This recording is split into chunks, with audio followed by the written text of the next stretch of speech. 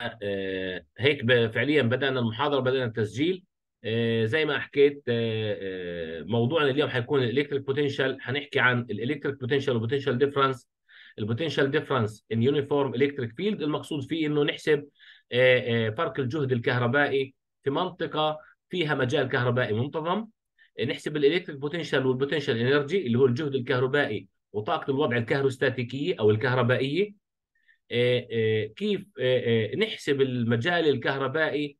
إذا عرفنا الجهد الكهربائي في نقطة معينة ال electric potential ل continuous charge distribution زي كيف فكرة جاوس.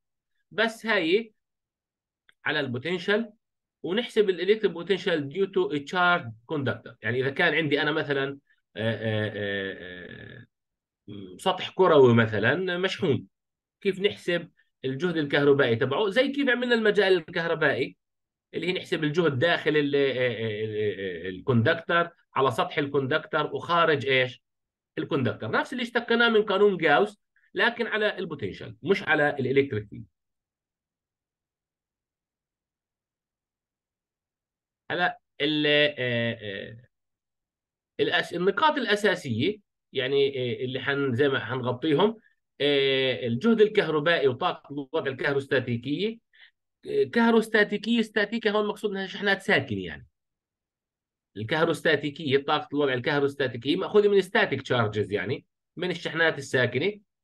إيه، كيف نحسب ال electric field من ال electric potential ونحسب ال potential ل isolated conductor هلا خلينا نفوت بشكل سريع على ال electric potential energy وال electric potential بدنا ننتبه لأول معلومة إنه القوى في الطبيعة مقسومة ل لقسمين أشياء بنسميها conservative forces و non-conservative forces يعني هذا كمراجعة. هلا نيجي نشوف إيش فكرة اللي هي ال conservative forces وال non-conservative forces خليني أذكركم بس بشوية شغلات وبنكمل. هلا لما بنحكي عن conservative هاي المقصود فيها إيش؟ يعني محافظة. يعني هون بحكي عن قوة أو قوة محافظة. حدا عنده فكرة إيش المقصود في القوة المحافظة والقوة غير المحافظة؟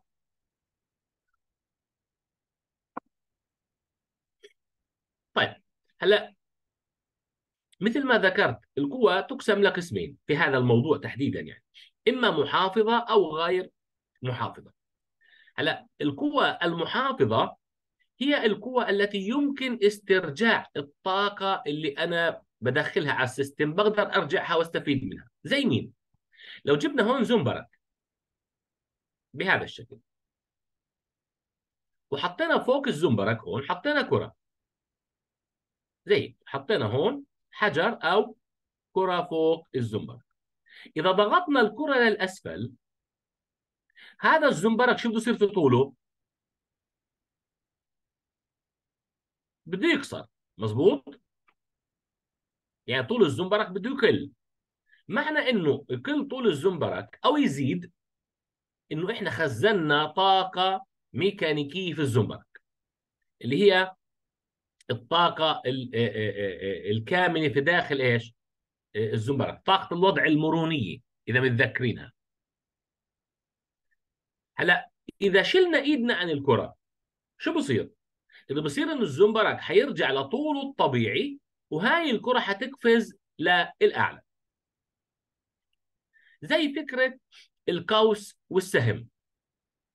ها، زي القوس والايش و آه، آه، آه، إذا إحنا بنشد القوس لل- للخلف بتغير شكل القوس بصير انحناءه اكبر إذا بنتركه إذا اللي هو القصد السهم بنلاحظ إنه بيرجع شكل القوس لوضعه الطبيعي والسهم ينطلق بطاقة حركية عالية.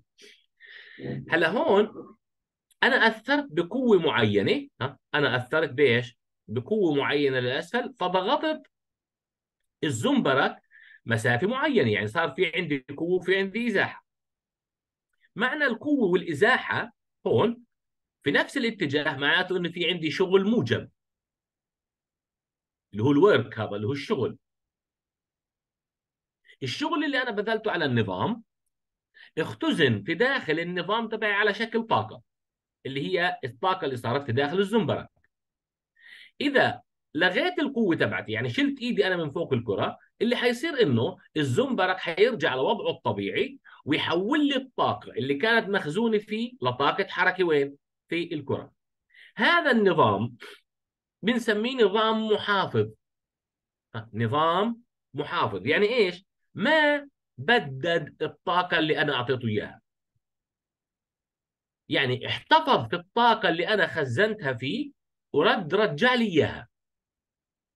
فهون الشغل المبذول يختزن على شكل طاقة يمكن استرجاعها. هيني حولت الطاقة من طاقة وضع مرونيه في الزنبرك إلى طاقة حركة. نفس الشيء طاقة الجاذبية الأرضية اللي هي طاقة الوضع الناتجة عن مجال جذب الأرض.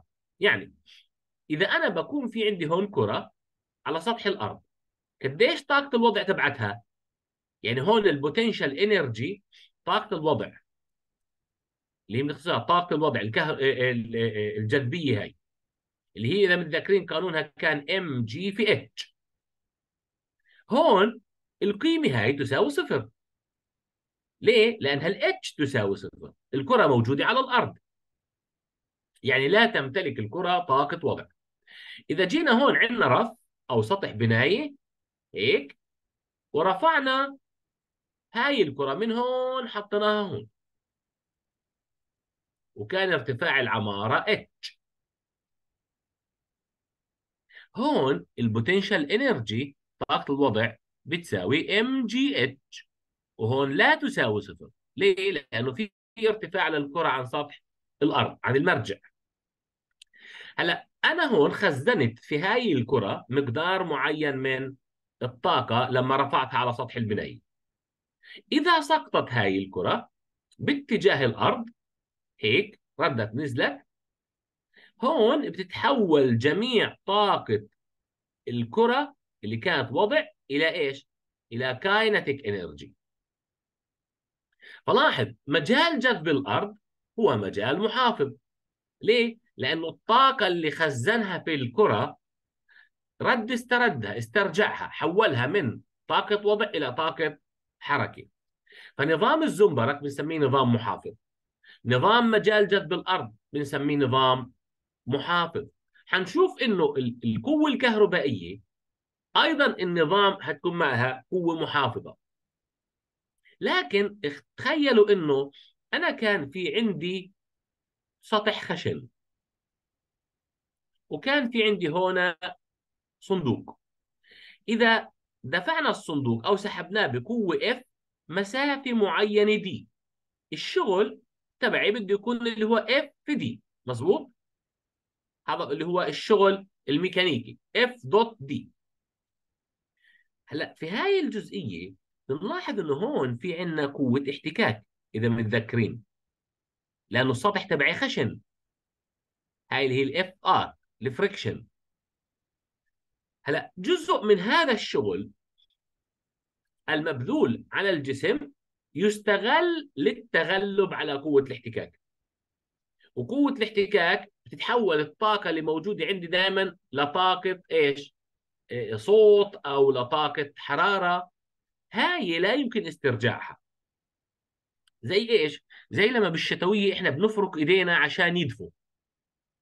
هلأ أنت بتبذل شغل لأنك أنت بتأثر بقوة على إيدك وبتحتك إيدك في إيدك الثانية. النتيجة تبعت هذا الأمر إنه إيدك بتدفى وبالتالي في جزء من الشغل تبعك من الطاقة تبعتك تحولت إلى حرارة. هل يمكنك استرجاع هاي الحرارة وتحولها لطاقة بشكل مختلف؟ لا. وبالتالي الأنظمة طلع. الأنظمة اللي فيها احتكاك تعتبر أنظمة غير محافظة. وصلت الفكرة كيف؟ إنه إيش أنا بقصد في ال conservative force وال non-conservative force طيب خلينا نشوف الفكرة هاي نفسها. يلا.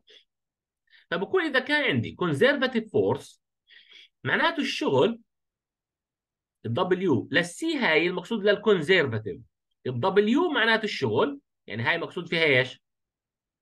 الشغل. وال C هاي اختصار ل conservative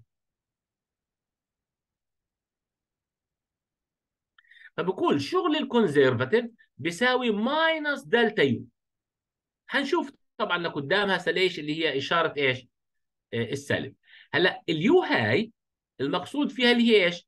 ال potential energy يعني هاي ال P E ال potential energy هون الرمز تبعها بده يصير إيش؟ U طاقة الوضع هي هاي ولا لا؟ إيه طاقة الوضع بالضبط ما هي طاقة الوضع في مراجع بكتبوها potential energy P E وناس بحطوها U وفي عندنا ال kinetic energy. U مزبوط صحيح. آه آه ال kinetic energy كان يتعامل معها مع K هيك لحالها. هاي اللي هي حركة وهاي اللي هي إيش؟ وضع. طيب. هلأ فإذا هون في عندي construct potential إيش؟ energy.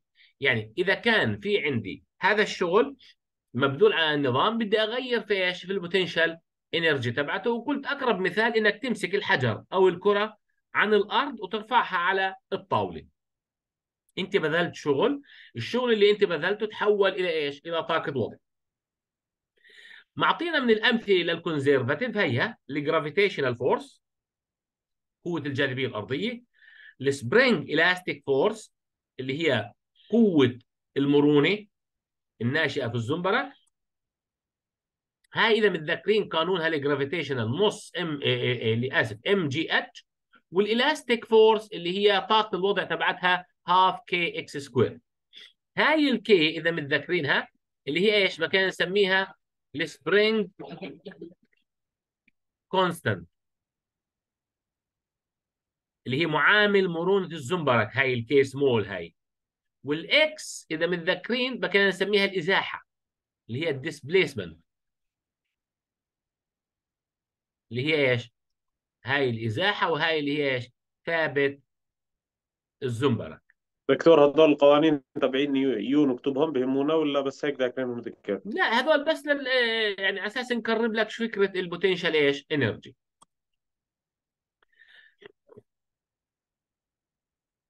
هلا في عندنا another example اللي هو ال experimentally discovered by physicists and engineers in electric اللي هو ال electrical إيش force يعني هذا اللي حنحكي عنه في موضوع هذا الدرس هذا ما كان شيء دارج في العلم وإنما اكتشف إيش؟ ب بالتجربة طبعا من خلال عدد من الفيزيائيين والمهندسين. وجدوا إنه ال electrical force أيضا conservative force هاي الثانية عبارة عن قوة محافظة. طبعا حنشوف لقدام التفاصيل. هلا وبالتالي هون حاكي لنا هاي المنطقة المظللة اللي هي we also can construct a potential energy. إنه حيطلع عندي انها ال potential energy الناتجة عن الكهرباء المجال الكهربائي اللي هي U بتساوي إيش؟ كيو ضرب في هاي اللي هي الشحنة. وفي هاي المقصود فيها الجهد الكهربائي.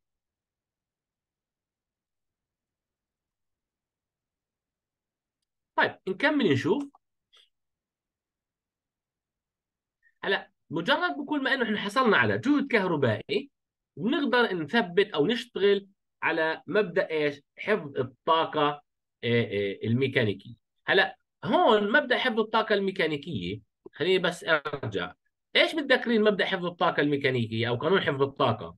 فكنا نقول إنه ال change in الطاقة قبل تساوي بعد اللي هي بالضبط. بالضبط. وبالتالي التغير في ال mechanical energy هاي ال mechanical energy هاي اللي هي صفر. نسميها طبعا E لاحظوا ال mechanical energy هاي اختصار ل mechanical إيش؟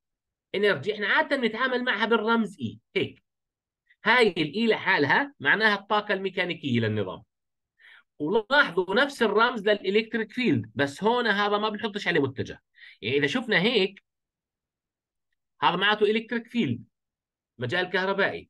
الطاقة كمية قياسية مش متجهة. وبالتالي هون عندي هاي اللي هي ال electri- ال mechanical إيش؟ energy. فالتغير في ال mechanical energy للنظام المحافظ بيساوي إيش؟ بيساوي صفر. ليش طب التغير فيه بيساوي صفر؟ لأنه أنتم قبل شوي ذكرتوا لي انه الطاقة قبل بتساوي الطاقة إيش؟ بعد وبالتالي قديش الفرق بينهم؟ الفرق بينهم صفر هلأ ال mechanical energy هاي عبارة عن شو؟ هاي عبارة عن K زائد U دائما طاقة الحركة زائد طاقة الوضع مجموعهم مع بعض بنسميه ال mechanical energy وهي اللي هي بتكون ثابتة للنظام المحافظ وبالتالي التغير فيها يساوي صفر. طيب. بقول هون لو افترضنا إنه في عندنا شحنة q هاي دخلت في أو وضعناها في electric field مجال كهربائي. هاي الشحنة حتتحرك مسافة معينة هون مسمينها s من نقطة A للنقطة B under the influence of electric force. كيف يعني؟ لو جينا إحنا حطينا هون شحنه معينه في داخل المجال أنا كان في عندي هون إيش؟ خطوط مجال بهذا الشكل هيك.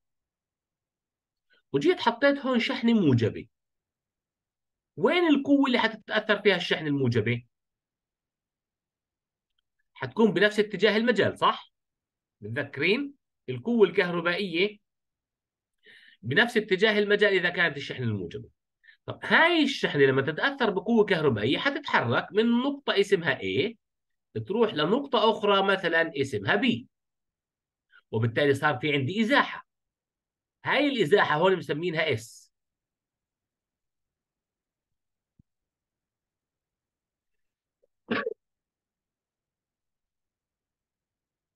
وبالتالي بصير في عندي شغل. ليه؟ لأنه أنا الشغل تبعي قلت قانونه اللي إذا متذكرين اف دوت دي وال F تبعتي هون اسمها F E وال d الازاحه اللي هو مسميها إيش؟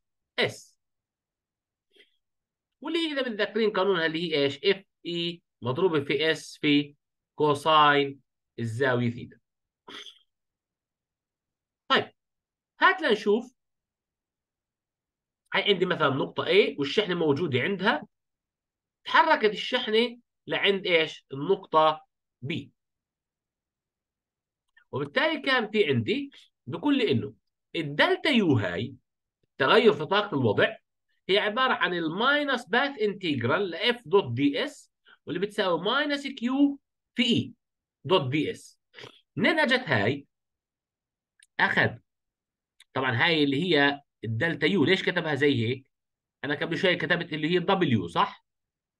في الشريحة الأولى قلنا W بتساوي minus delta U هيك طب وهاي بتساوي اللي هي إيش؟ F dot d إذا متذكرين هلا هون نتعامل مع اللي هي ال displacement element هاي. فصارت اللي هي F dot d s لما يصير في عندي d يعني جزء صغير من الإزاحة بدي أضطر أخذ التكامل بهذا الشكل. واستبدل القوة هاي حط محلها q E يعني صار عندي هون اللي هي إيش؟ integral q في E dot ds بهذا الشكل ال q بتطلع برا في ال integral اللي هو إيش؟ E dot ds بهذا الشكل طب إشارة السالب هاي اللي هون وين راحت؟ آه انتبهوا هو ما حط minus delta U حط delta U فالإشارة السالبة بدها تروح لوين؟ لعند التكامل. وهي بتصفي إيش؟ اللي هي q أو minus q في integral E dot ds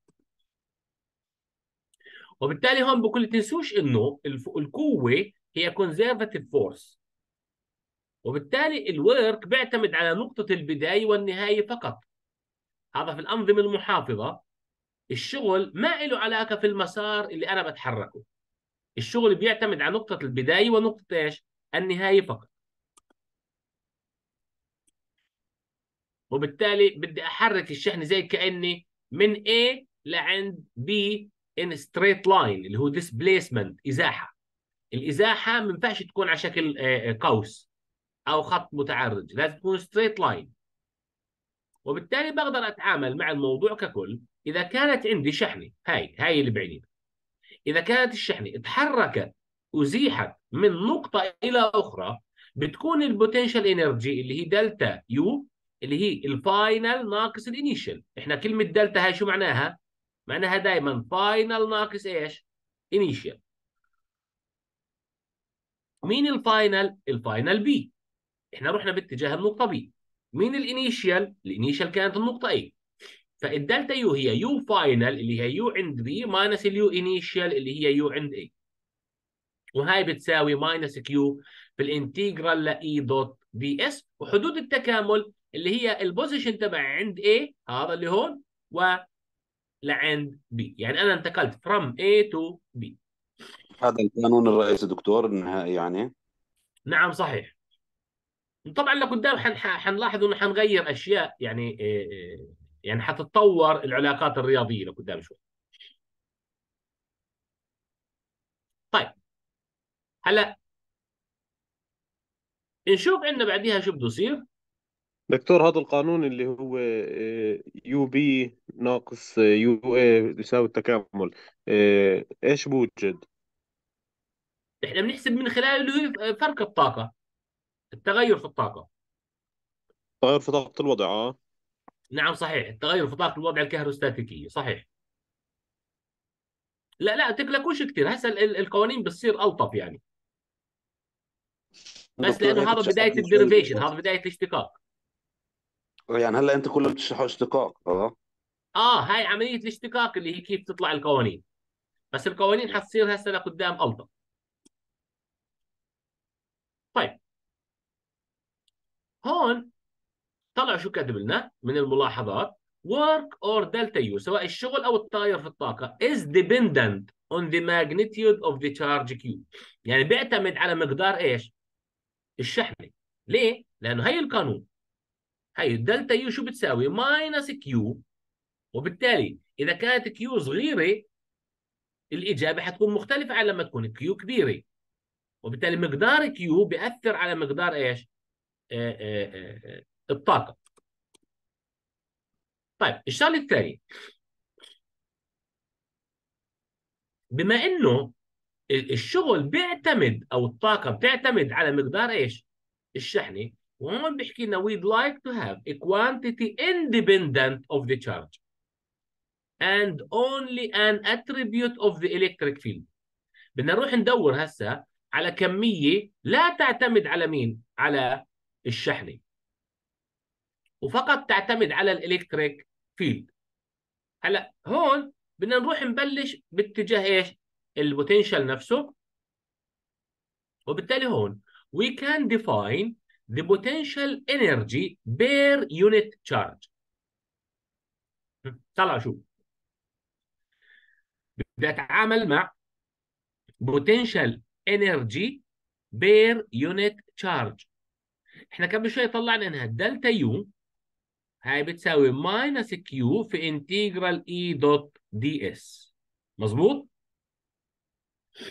إذا قسمنا الطرفين على q هيك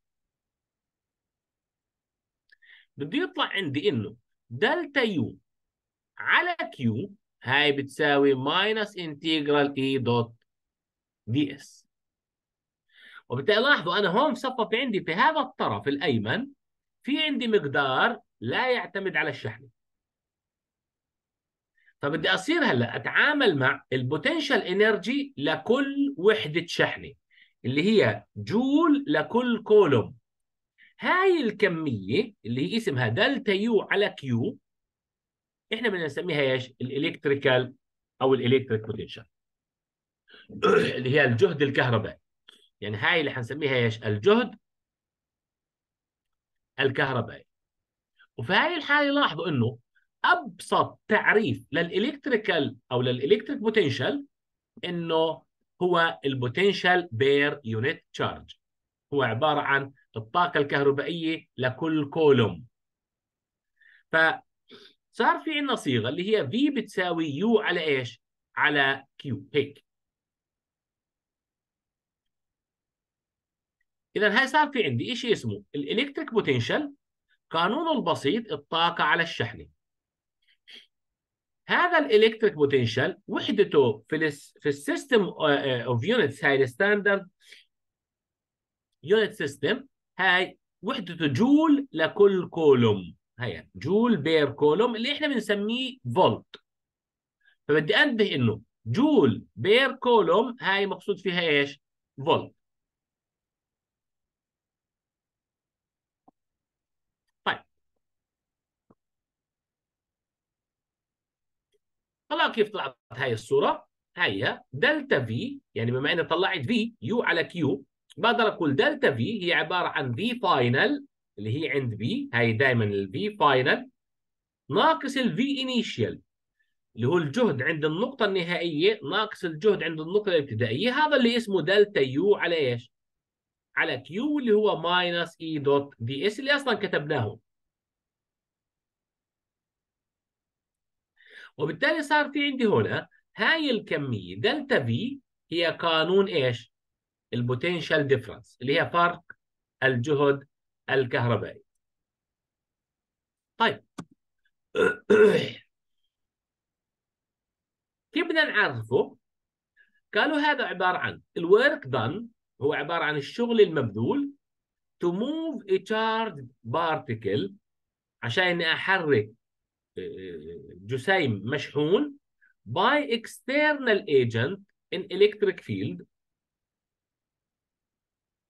بدي أحركه بواسطة شو؟ بدي أنا مؤثر خارجي في المجال الكهربائي وبالتالي هون حط لي هون لما انتبهتوا في عندي دبليو اي بي بي هاي اختصار لشو؟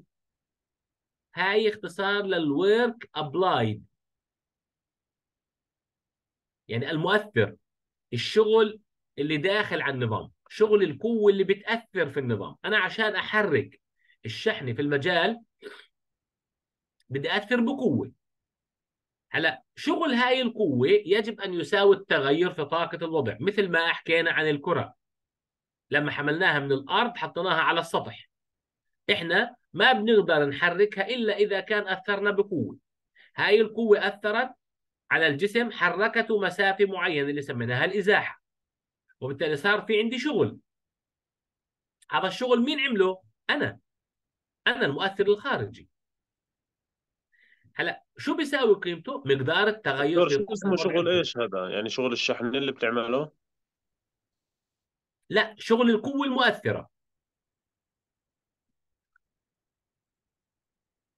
هذا الشغل ال applied شغل القوة المؤثرة هذا بيساوي Q delta V لكن هاي القوة المؤثرة هاي القوة المؤثرة بنتج عنها تغير في الطاقة. هذا التغير في الطاقة لاحظنا إنه اسمه اللي هو minus إيش؟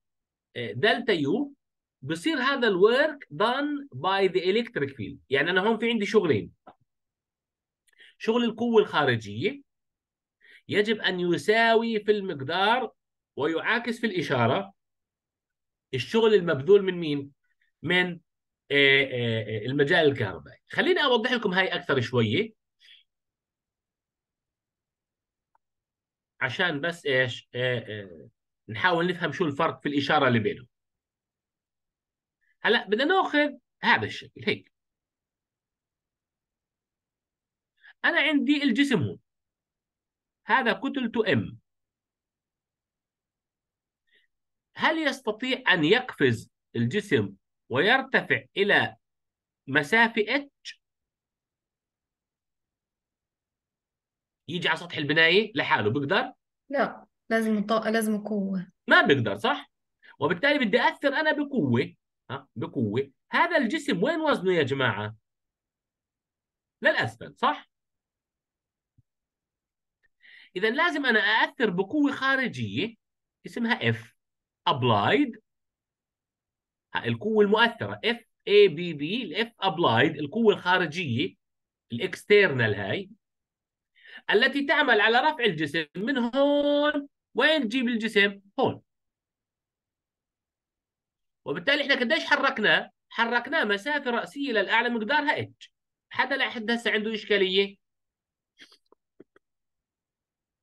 واضحة الأمور لحديت هون؟ طيب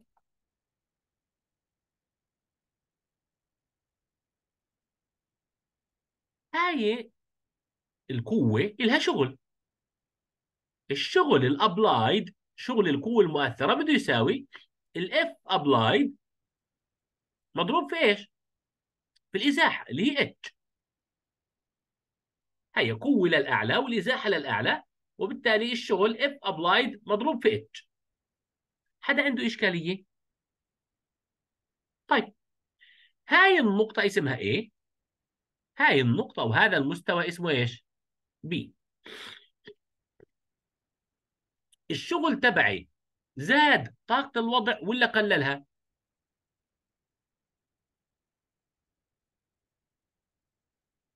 آه، زاد المفروض. زادها أكيد. لأنه هنا الام جي اتش صفر هنا ال U A بتساوي صفر.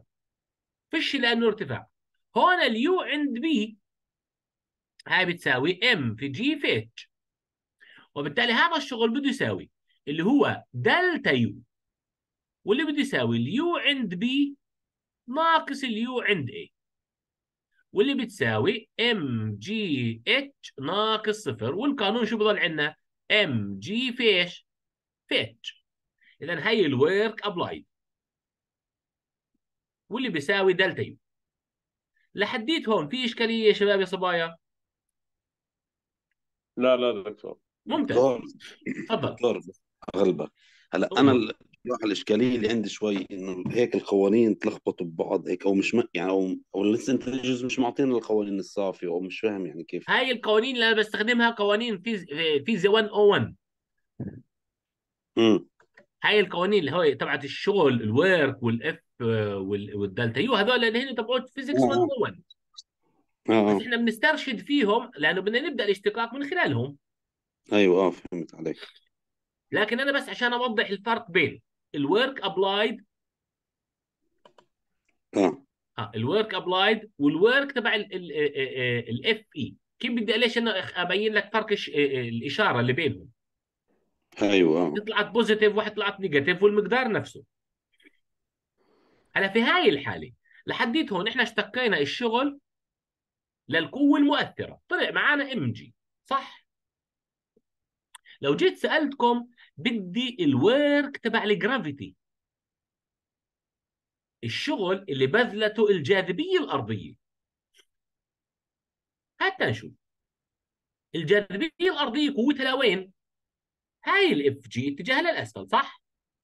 اللي هو قانونها m g لكن الإزاحة وين كانت؟ للاعلى مظبوط؟ عكس هي ال- آه. يا عيني عليكم وبالتالي هاي بدها تكون اللي هي ال F تبعت ال gravity مضروبة في الإزاحة مضروبة في cosine ال 180 لأنها الإزاحة للأعلى والجاذبية الأرضية بتأثر للأسفل. مظبوط؟ هاي شو حتطلع؟ حتطلع minus اللي هو ال cosine ال 180 هذا minus واحد. فبصير minus F g في إيش؟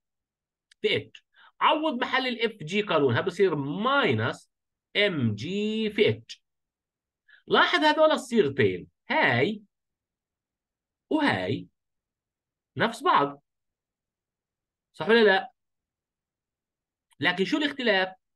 الاختلاف في الإشارة السالبة فطلع عندي ال work applied بيساوي ناقص ال work تبع ال gravity يعني لأنه المقدار نفسه لكن في اختلاف في الإشارة. هلأ هاي الصورة نفسها اللي عملناها هناك. يعني هاي هي نفسها اللي طلعت معانا هون. فطلع عندي الشغل ال applied شو بيساوي؟ بيساوي delta U واللي بيساوي q في delta V ال work تبع ال electrical force القوة الكهربائية بيطلع minus delta U واللي بيطلع minus q delta V following the same scenario اللي حكيناه قبل شوي. هاي هي اللي بكيت بدي أنا إيش؟ إيه إيه أوضحها. هلا الشغلة الثانية هون الملاحظة. بما إنه إحنا بنحكي عن شغل الشغل وكذلك الطاقة لانهم كميات قياسية scalar quantities they could أنا be مش فاهمة اللي جبت cosine المية وثمانين صراحة. بنرجع كمان مرة يا نعمي حاضر ها؟ على ال white board أنا بقول لك وأنا بكون برفع في الكرة للأعلى. مش بدي أرفعها عن الأرض أحطها على الطاولة. مظبوط. أنا و- برفع في ال- في الكرة للأعلى. الإزاحة لوين؟ لفوق. ممتاز. قوة الجاذبية لوين؟ تحت. قديش الزاوية بينهم؟ 90 لا 180 كيف؟ لا. زي السواقي فوق يعني. آه هاي 180 هاي الإزاحة الإزاحة اللي هي ال d للأعلى صح؟ مظبوط. والقوة لوين؟ تحت. آه هدول فهمت. زاويه بيناتهم مستقيمه 180 هاي آه straight آه angle فهمت مظبوط فهمت. مظبوط؟ هاي هي الفكرة اللي عملناها يا نعمه مش أكثر مش أقل. آه آه فهمت. آه هاي هي ال ال ال نفس ال- القصة. هناك بالشحنات same scenario يعني ما اختلفش الموضوع بتاتا. بس بدي تنتبهوا إنه الطاقة أو التغير في الطاقة اللي هو ال work applied هذا ممكن يكون positive وممكن يكون negative وممكن يكون إيش؟ zero ليه؟ لأنه scalar quantity يعني أنا قصدي هون الإشارة تعوض. إذا متذكرين في القوة الكهربائية في المجال الكهربائي ما كنا نعوض الإشارة السالبة ليه؟ لأن الإشارة السالبة هناك كانت تدل على الاتجاه لأنها ال electric field وال electrical force هاي هذول كميات متجهة. فما بعوض الإشارة السالبة ليه؟ لأنه يظهر ال- الأثر تبعها في الاتجاه. الكميات القياسية ال scalar quantities لا بنعوض الشحنة بإشارتها. يعني موجب بعوض موجب سالب بعوض سالب لأن هي كمية قياسية. يعني السالب هنا لا يدل على الاتجاه. فهي هي إيش؟ الفكرة هي بقول هون depending في الآخر لاحظوا depending on the signs تعتمد على إشارة ومقدار كل من الشحنه وإيش؟ والجهد. فبدي أنبه هون إنه هون لما بحكي عن ال electrical force أو بحكي عن ال electric field هون no signs يعني أنا ما بحط إيش؟ ما بعوض الإشارات. لأني باخذ قيمة الشحنة نفسها يعني بالضبط. هون بتعامل مع ال magnitude تبعت q ما بعوض الإشارة السالبة. ليه؟ لأنه بحكي عن vector quantities هذول مالهم؟ vectors لكن ال work ال U أو ال delta U وال potential هذول مالهم هون with signs. يعني بعوض الإشارة بتعامل مع ال q ككل. ما بأخذ ال magnitude. positive or negative ليه؟ لأنه هذول scalars هذول كميات قياسية. هاي الفكرة كانت إيش من الموضوع. وبالتالي حاكي لنا هون إنه we can calculate electric potential at some point b relative to a point where electric potential equal zero واللي هي بتكون it is at r equal infinity. هلا حنشوف كيف الفكرة تبعها. هلا كيف أجت هاي ال infinity؟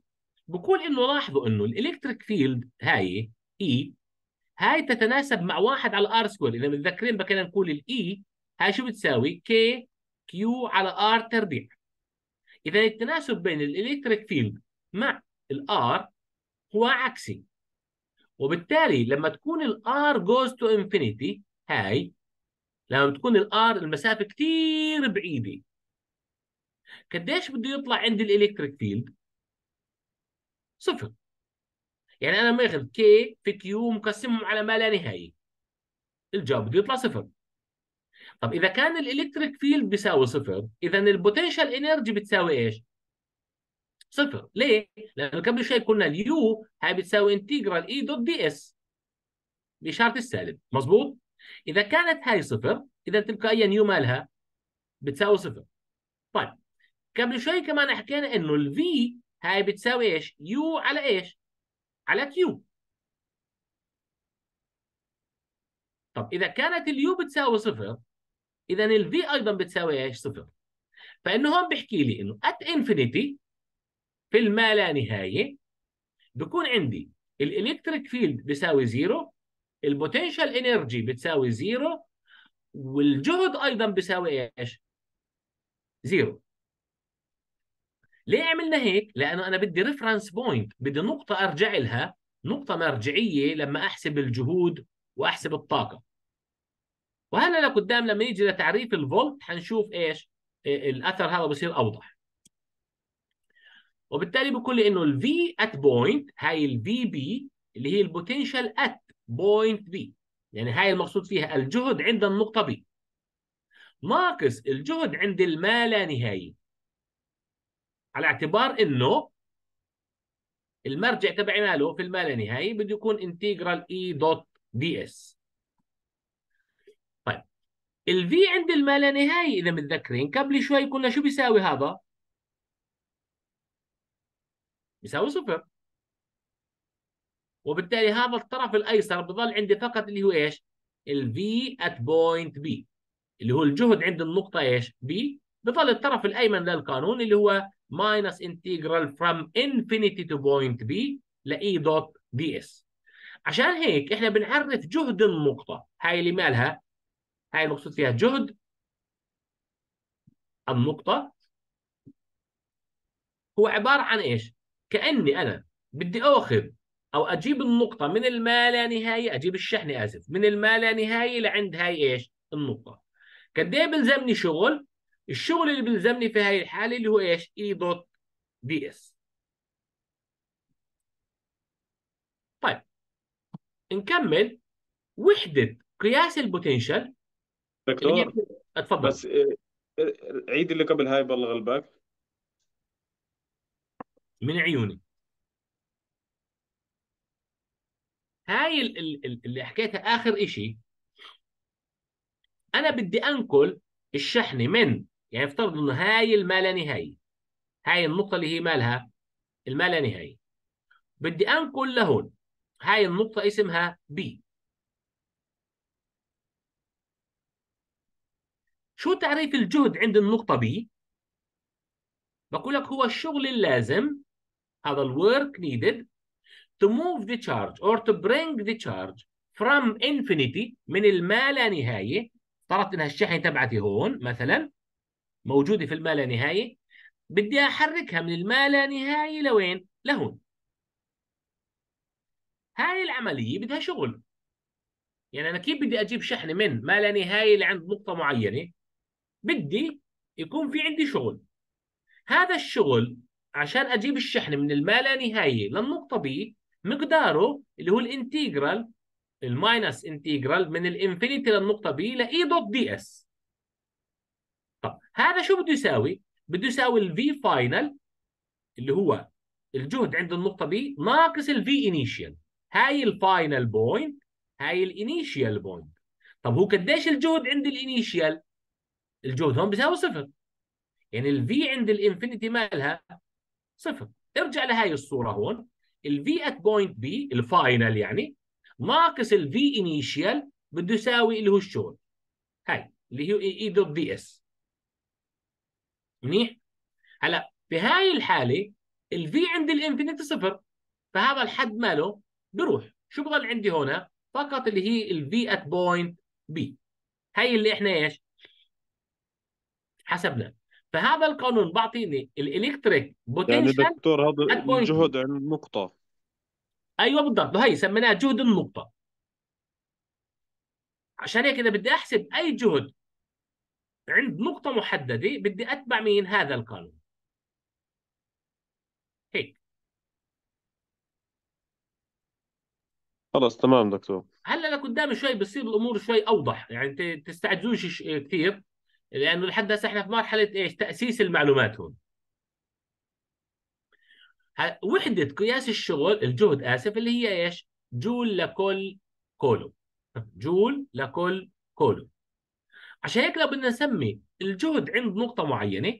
بقول لك هو مقدار الشغل اللازم لنقل وحدة الشحنات الكهربائية اللي هي واحد كولوم من الما لا نهاية إلى تلك النقطة وشرط كمان بسرعة ثابتة. عشان إنه يكون الشغل اللي بذلته أنا نتج عنه تغير في طاقة الوضع فقط. إذا تغيرت السرعة بيكون جزء من الشغل صار على شكل kinetic energy. فهون في عندنا condition إنه to move the charge at constant velocity. هذا مهم. لكن برضه لقدام بيظهر آه، آه، آه، في القوانين. طيب هلا بقول this unit allows you to express the electric field in another form اللي هي فولت لكل متر. إذا متذكرين كانت وحدة ال electric field E هاي شو كانت وحدتها؟ نيوتن لكل كولوم. متذكرين لما حليتوا المهمة تبعتكم؟ وحدة المجال كانت اللي هي نيوتن per كولوم. آه طب هون جاب لنا إياها كنا صار في عندنا وحدة جديدة اسمها فولت لكل متر. منين أجت هاي؟ اطلعوا كيف؟ نشوف كيف جبنا هاي ال... ال... نثبتها يعني. أنا فعليا كانت ال E الوحدة تبعتها كانت اللي هي نيوتن per كولوم واللي بنقدر نكتبها as نيوتن divided by كولوم كيف بدنا نحولها لفولت per متر بنقول ما هو نيوتن هاي النيوتن هي عبارة عن إيش؟ يعني بنيجي على الجنب بقول ما هي نيوتن عبارة عن جول على متر. صح؟ ليه؟ الشغل بيساوي F dot d هاي جول هاي نيوتن والدي اللي هي إيش؟ متر. إذا بدنا النيوتن لحالها بنقسم على متر على متر بضل عندي إنه النيوتن هاي شو بتساوي؟ جول per متر هاي الصورة لو أخذناها من هون عوضنا. شو بده يطلع عندي محل النيوتن محل النيوتن بحط هي عبارة عن جول per. متر divided per إيش؟ على كولوم. وبالتالي بتصير إيش؟ اللي هي إيش؟ جول per متر كولوم. هيك. لكن إحنا أخذنا قبل شوي إنه الجول per كولوم هاي هاي الجول per كولوم هاي سميناها فولت. وبالتالي بصير عندي الوحدة إيش؟ اللي هي فولت على إيش؟ على متر إذا صار في عندي هذول two equivalent units اللي هم نيوتن per كولوم أو الفولت per متر هذول equivalent units وحدات متكافئة. وبالتالي بقدر أقيس إنه ال electric field ممكن يكون وحدته نيوتن لكل كولوم وممكن تكون وحدته فولت لكل إيش؟ لكل متر. وضحت؟ هاي كيف أجت اللي هي فولت per متر؟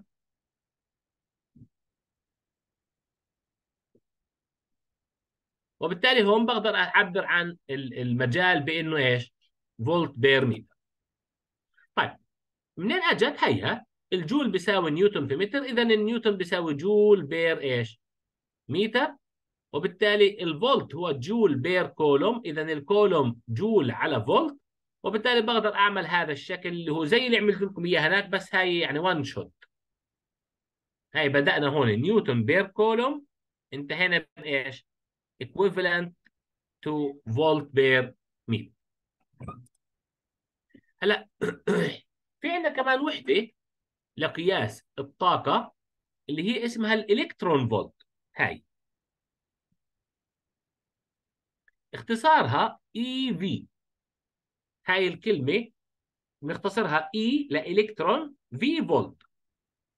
بكون عندنا الواحد إلكترون فولت. هذا شو بيساوي؟ بيساوي الواحد إلكترون قديش شحنته؟ أخذناه من الوحدة الأولى أو chapter 23 و24 الإلكترون اللي هو 1.6 times 10 to minus 19 مظبوط؟ هذه هي شحنة الإلكترون. مضروبة في الفولت هو 1 جول per كولوم وبالتالي بيطلع عندي ال 1 إلكترون فولت شو بيساوي؟ 1 و6 في العشرة في 10 قوة ناقص 19 إيش؟ جول. ف وين بنشوف كلمة إلكترون فولت؟ بدنا نكون عارفين إنه هاي تعادل 1.6 بالعشرة في 10 قوة ناقص 19 إيش؟ جول وبالتالي بقدر أحكي إنه الشغل أو الطاقة ممكن إني أعبر عنهم بوحدة إيش؟ اللي هي الإلكترون فولت يعني الإلكترون فولت هي وحدة طاقة هي وحدة شغل زيها زي الجول طيب خلينا نشوف عندنا هيك مثال بسيط. نقول في example واحد في عندنا الكترون أو negative charge in an electric field directed to the right. شو المقصود directed هي اتجاه المجال لوين؟ لليمين. أنا عندي هون مجال منتظم يؤثر باتجاه إيش؟ الشرق. اتجاه اليمين أو ال positive x axis وهون في عندي شحن سالبي. هلا إذا كانت الشحن سالبي اتجاه المجال تبعها بيكون أو آسف اتجاه القوة اللي عليها باتجاه المجال ولا عكسه؟ هذا حكينا من الأول. عكس المجال. بالضبط الشحنات السالبه تتأثر بقوة بعكس اتجاه المجال اللي هي هي F هي طيب الشحن الموجبه تتأثر بإيش؟ نفس اتجاه المجال. بنفس اتجاه المجال لليمين يعني. وبالتالي هاي وين حتتحرك؟ هاي ال velocity. هاي الحركة لليسار هون ال velocity الشحنة حتتحرك لوين؟ لليمين. طيب نشوف كيف. هون حاكي لنا بقول from high voltage to low voltage. آه بدنا لها هاي ال- الجزئية. يعني كأني بقول إنه بروح من ال higher voltage هون لل lower voltage هون. وهاي إذا متذكرين بتشبه إشي في التيار الكهربائي. التيار الكهربائي بيروح من الجهد المرتفع للجهد إيش؟ للجهد المنخفض أو حركة المي. المي بتروح من النقطة العالية للنقطة المنخفضة. عشان هيك إحنا بنحط الخزانات على السطح خزانات المي. كلهن بتبع عند سيم ايديا اللي هي change in energy.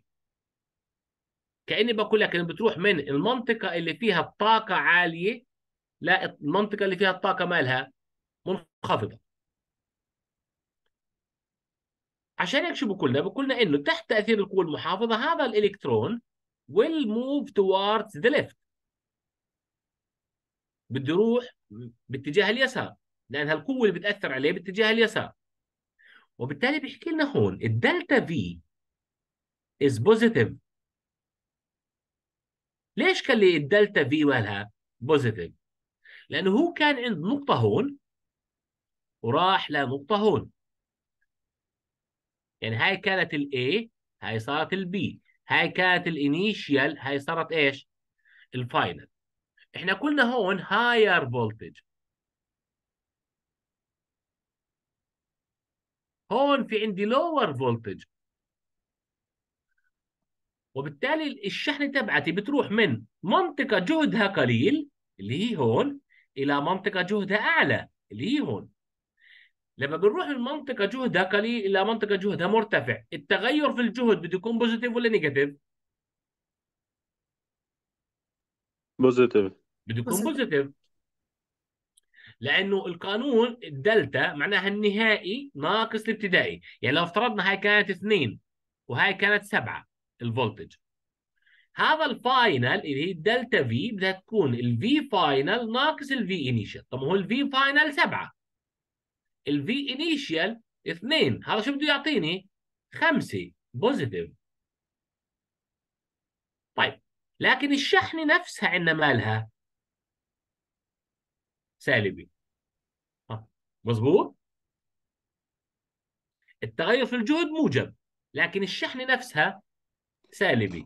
الشحن السالب عشان عكس المجال؟ لا الشحن سالب لأنه إلكترون يا خالد. حيو. حلو. electron or negative charge فالقانون تبع delta U Q في delta V ال Q سالبة في delta V موجبة هاي فبده يطلع عندي ال- ال- ال- النتيجة النهائية مالها negative لأنه negative times positive بتعطيه negative وبالتالي بقول لي إنها الطاقة مالها بتقل. ال U بتقل اللي هي ال potential energy طب إذا قلت ال potential energy ال K شو بده يصير فيها؟ ال kinetic بدها تزيد ليه؟ لأن إحنا بنحكي عن conservative system ال conservative system فيش ضايع على الطاقة. إذا صار نقص في الطاقة في إحدى الن- الجزئيات بده يصير في عندي زيادة في مكان آخر. فهون صار في عندي نقص في طاقة الوضع بده يصير في عندي زيادة في طاقة الحركة. عشان هيك هاي الشحنة تبدأ تتسارع. يعني بصير تتحرك بسرعة مختلفة. أيوه حكي لي هون change in kinetic is positive. ليه؟ لأنه الإنرجي عندي is conserved. اللي حكيناه في الأول اللي هو change in mechanical energy كده بيساوي صفر. طب هاي كانت عبارة عن U plus K. هاي بتساوي إيش؟ مقدار ثابت. طب إذا كانت هاي قلت تلقائيا شو بده يصير فيها؟ بدها تزيد. وهذا بقول لك إنه ال delta K plus ال delta U بده يساوي صفر. هذا معناته إنه ال delta K بتساوي minus delta U وهذا أيضا كان القانون نفسه موجود في ال physics 101 إنه مقدار التغير في طاقة الحركة يجب أن يساوي مقدار التغير في طاقة الوضع وإنما يخالف في الإشارة. يعني يعني واحد زيادة واحد نقصان. وبالتالي لك طردية. احكي. ب- عفوا بحكي لك إنه علاقتهم طردية بتكون. آه يعني آه، آه، آه، هي كيف بدنا نقول؟ مش مش الفكرة يعني طرديه بالمعنى الحقيقي إنه ما هو أنت في عندك واحد بيزيد والثاني بقل أو واحد بقل والثاني بيزيد. يعني كلما نقصت ال K ال U بتزيد أو كلما نقصت ال U ال K إيش؟ بتزيد. لكن التغير فيهم ها صح؟ التغير هذا التغير بيساوي التغير. يعني التغير في K بيساوي التغير في إيش؟ في U طيب نشوف عندنا هون إنه بيطلع عندي ال work done هذا شو بده يساوي؟ بده يساوي Q في دلتا إيش؟ في delta V هلا الجزء الثاني اللي هي الشحنه الموجبة. نتبع نفس السيناريو على أساس بس نوضح المعلومة. أنا في عندي بروتون اللي هو يعني positive الشحنه أصلا positive هلا لما يأثر عليه مجال كهربائي البروتون أو الشحنه الموجبه بده يروح لليمين.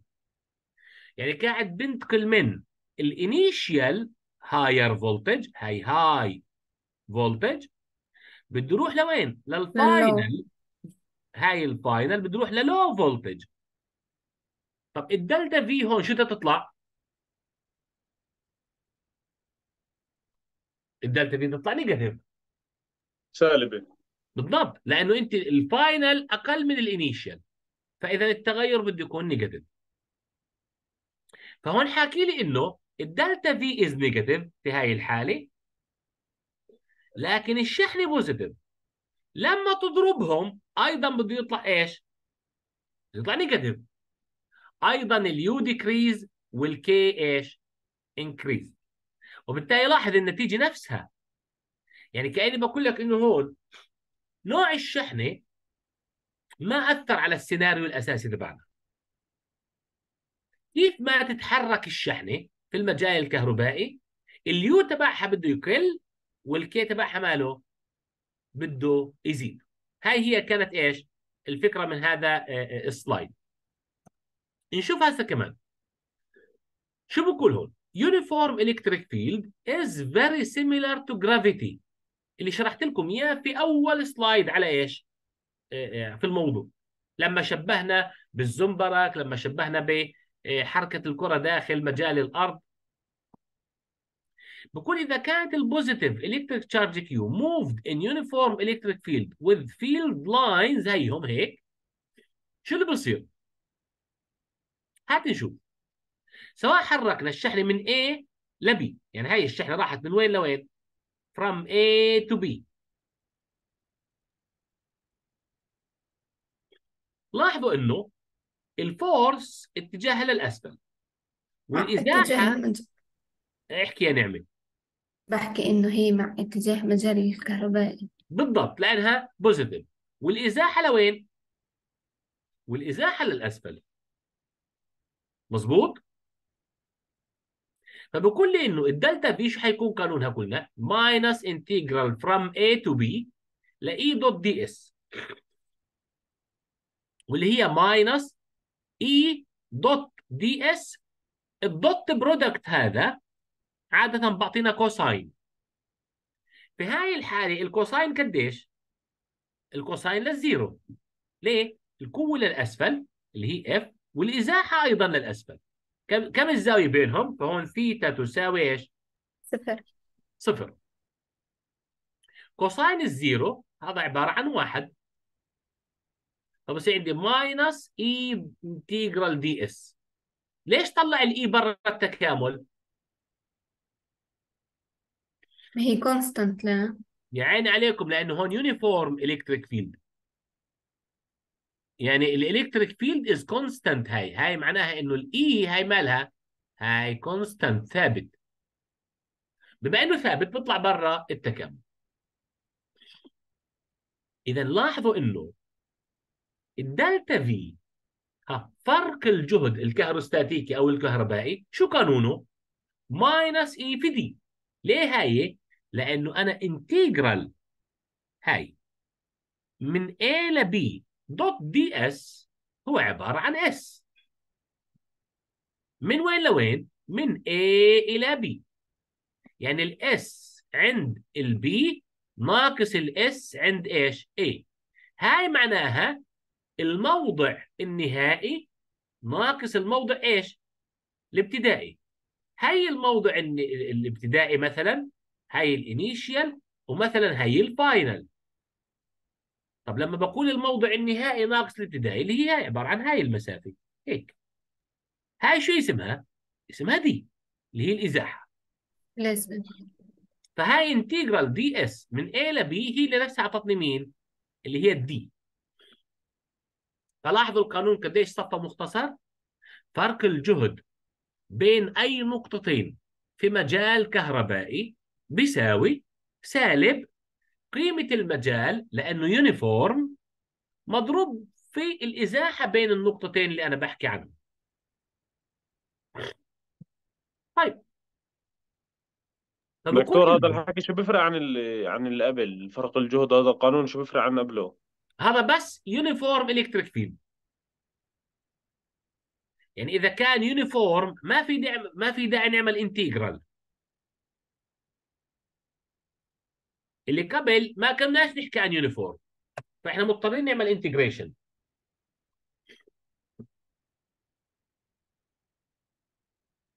عشان هيك لاحظ إنه بيحكي لنا إنه ال V عند ال B أقل من ال V عند إيش؟ ال A ليه؟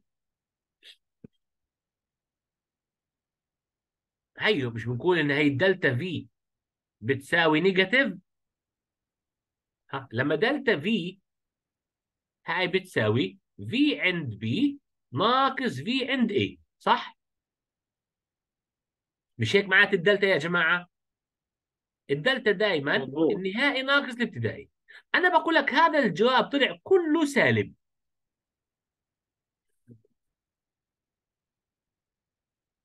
متى يكون حاصل طرح كميتين مقدار سالب لما بتكون A أكبر من B. 100% أو B أقل من A يعني تخيلوا لو حطيت هنا 2 ناقص 5 شو بده يطلع الجواب؟ negative. لو حطيت مثلا 7 ناقص 12 شو بده يطلع الجواب؟ negative. اذا بما إنه VB minus VA equal negative اللي هو هاي الإشارة هاي negative معناته هذا إنه ال VB أقل من ال VA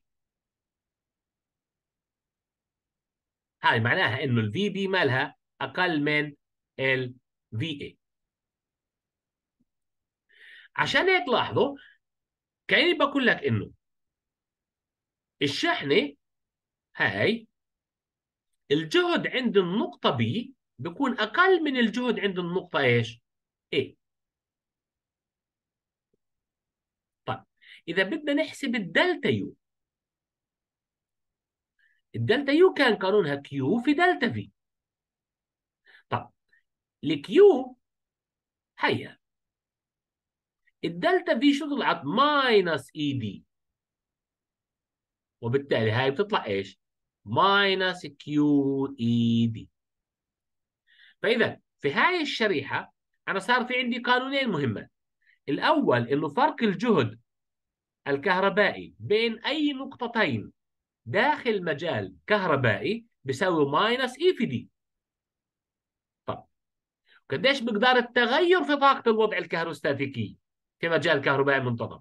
هي عبارة عن minus q في E في d اذا هي القانونين الأساسيات اللي أنا بدي إياهم هون.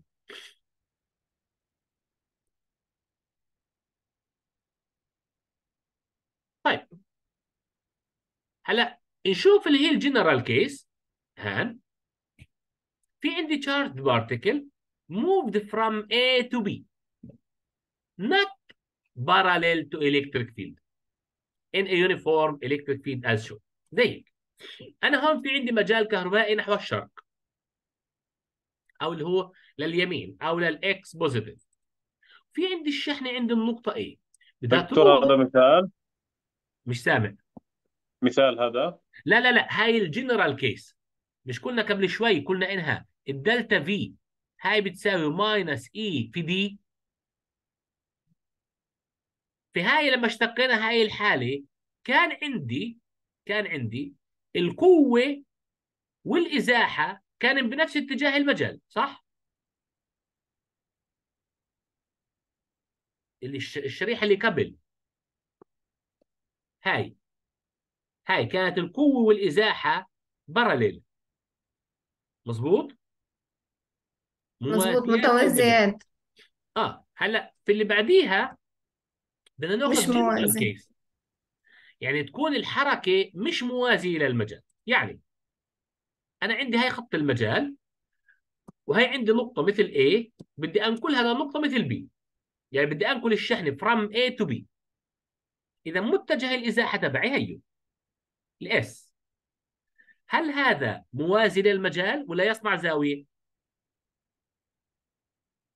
بصنع زاوية. هذا يصنع زاوية مع المجال. طيب اللي هي هاي. هاي الزاوية اللي هون هاي.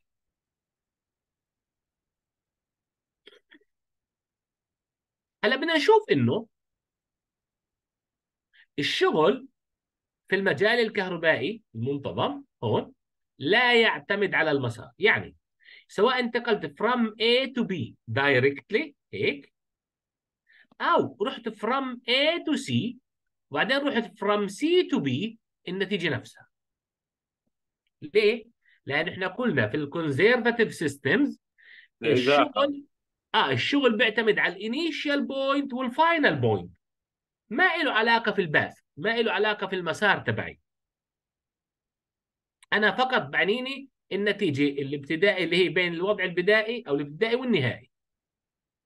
طيب نكمل. فبقول هون delta V نفس القانون اللي طلع معانا اللي هي minus E برا التكامل لأن هاي constant integral dot ds اللي هو إيش؟ S هاي الصورة. هذول الثنتين dot product هذا ماله؟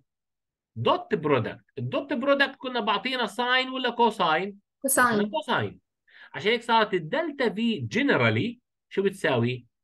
minus E في S في cosine إيش؟ theta. minus E في S في cosine theta. هلا هاي ال S cosine theta هاي اللي هي نفسها d. ليه؟ هاي ال S اللي هو الوتر صح؟ و d اللي قريبة على الزاوية فإذا يعني نحللها و d اللي هي ال- المجاور. فلو بدنا ناخذ cosine theta شو بدها تكون؟ مجاور على إيش؟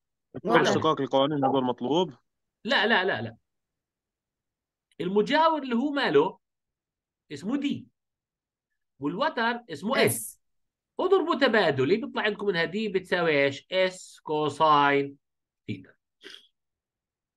فرجعنا نفس الآلية اللي هي ال delta V شو بتساوي؟ minus E في d بس شرط ال d هاي مالها. هاي مش الإزاحة نفسها. هذا الجزء من الإزاحة الموازي للمجال فأنا بفضل عادة يعني لما أتعامل مع كل الطلاب دائما يتعاملوا مع هاي الصورة. ليش؟ بأجي بقول لك أنا هاي خطوط المجال هيك هاي اللي هي E مثلا بتساوي 6 أو 600 نيوتن لكل كولوم أنا أخذت الشحنه تبعتي مثلا. من هون اللي هي مثلا plus 3 micro coulomb وبدي أحركها لوين؟ من عند A لعند B. هيك. هاي المسافة كانت عبارة عن 6 متر اللي هي الإزاحة. وهاي تصنع 37 درجة. cosine سبعة وثلاثين. فخلص تلقائيا شو بريح لازم أقول delta V يعني مباشرة هون. هيها delta V بتساوي إيش؟ minus E S cosine اللي هي ال 37 ال minus E minus 600 في ال S قيمتها 6 متر في cosine ال 37 اللي هي إيش؟ 8 اعشار بيطلع دايركتلي الجواب يعني بصير عندي مباشرة آه، 60 في 6 في 8 أو 60 في 48 بهذا الشكل هيك والوحدة إيش؟ فولت يعني أريح لي إني أتعامل مع القانون في الصورة الجاهزة.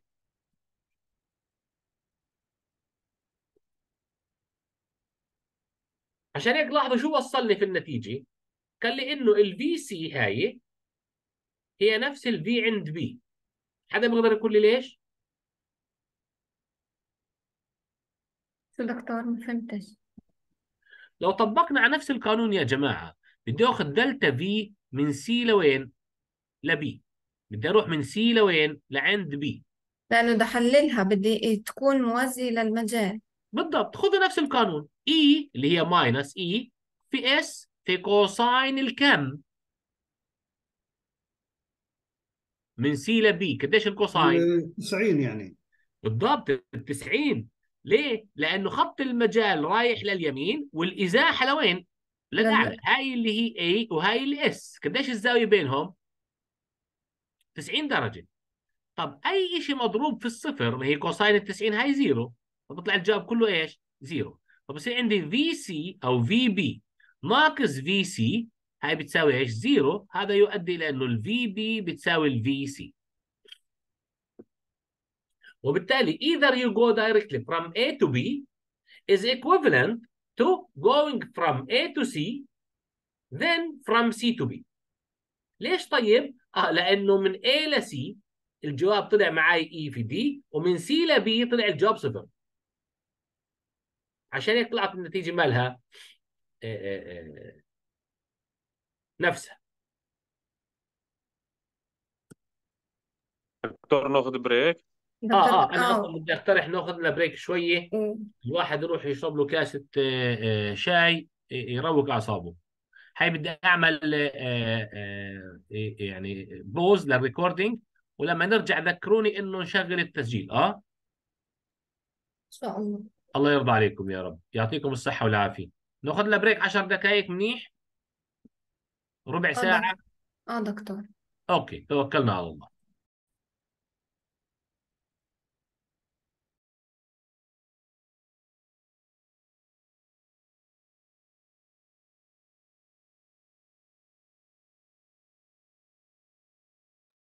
Okay. هيك رجعنا ورجعنا آه، آه، آه، بلشنا آه، أو استكملنا عملية إيش؟ آه، التسجيل. هلأ في عندنا الموضوع اللي آه، حنحكي فيه هلأ موضوع كثير بسيط آه، الا انه الفكرة تبعته كثير مهمة اللي هو بنسميه ال equipotential surface هلأ هون الكلمة هاي اختصار ل يعني هي عبارة عن جمع من كلمتين من equipotential surface اللي هي سطوح أو سطح تساوي الجهد.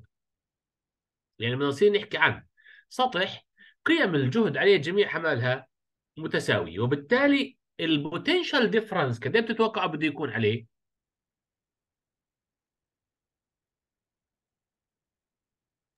اذا ايكوال يكون صفر يعني. صفر. 100% 100% اسمه سطح تساوي الجهد وبالتالي قيم الجهد على هذا السطح متساوية وبالتالي فرق الجهد بين أي نقطتين بده يكون ماله بيساوي صفر. هاي هي الفكرة من آه، من هذا الموضوع. طيب خلينا نشوف.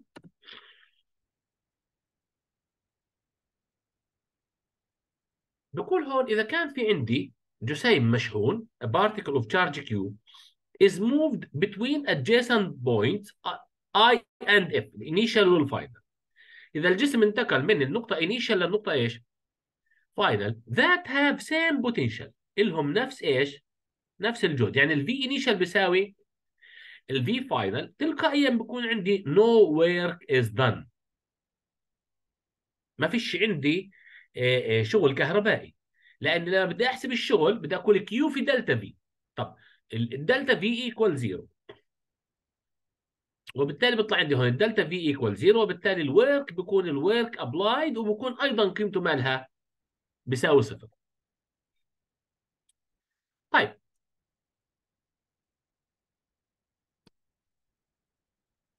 بقول هاي النقاط اللي إلها same electric potential forms what is called equipotential surface أو equipotential surface أو equal potential surface سطح تساوي جهد هذا بنسميه له إيش؟ سطح تساوي جهد أو سطح تساوي الجهد هلا سطح تساوي الجهد ممكن يكون imaginary يعني أصلا أنا مفترضه أو متخيله وممكن يكون ريل حقيقي. كيف يعني؟ لما نروح نحسب لقدام شوي الجهد الكهربائي على سطح كرة يعني موصل كروي نص قطره R يحمل شحن موزع عليه على سطحه مقدارها مثلا Q. حنشوف إنه لما نحسب الجهد عند جميع النقاط على هذا السطح حتكون متساوية. يعني الجهد عند هاي النقطة بيساوي الجهد عند هاي النقطة بيساوي الجهد عند هاي النقطة and so on. وبالتالي جميع النقاط على سطح الموصل الكروي لها نفس قيمة الجهد. إذا بقدر أعتبر إنه سطح الكرة نفسه سطح تساوي إيش؟ جهد. وبالتالي في هاي الحالة بيكون حقيقي. يعني سطح تساوي الجهد اللي بحكي عنه سطح حقيقي. طيب حنشوف إنه لما نيجي نحسب سطح تس... نحسب الجهد عند نقطة تبعد R عن مركز الموصل. حنلاحظ إنه الجهد عند هاي النقطة أيضا بيساوي الجهد عند هاي النقطة. لما نشتق القانون بيطلع KQ على R. فإذا الشحنة نفسها والنقاط لها نفس البعد دكتور هذا مش هذا بيكون imaginary عيد أغلبك. مش زي سطح جاوس إنه مرة داخل الموصل ومرة خارجه؟ نفس الفكرة نفس الفكرة. هلا لكن هون اللي قصدت بس عشان أبين لكم الفرق بين الريال والإيماجينري. سطح الموصل سطح حقيقي وهو سطح تساوي جهد هاي اللي هون هذا اللي هون اللي بالنقاط هاي هو أيضا سطح تساوي جهد لكن هل هو فعليا في سطح؟ يعني هذا حقيقة هو سطح حقيقي اللي بالنقاط؟ لا.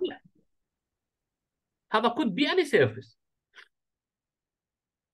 لكن هذا مش ريل مش موجود يعني ما في عندي سطح حقيقي في هاي المنطقة. زي كيف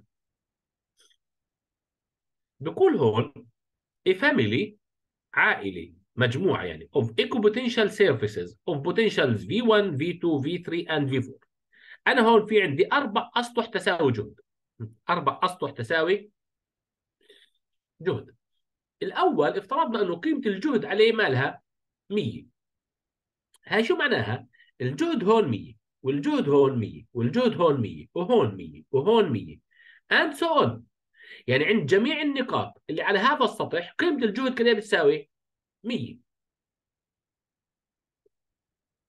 ال V2 عليه 80 ال V3 60 ال V4 40 وبالتالي شو بقول؟ The work done by the electric field while moving charged particle of charge Q is يعني أنا بدي أنقل آه، آه، الشحن هسه بنشوف كيف. إذا بدي أنقلها فور باث 1 بكون الشغل بيساوي صفر. كيف يعني؟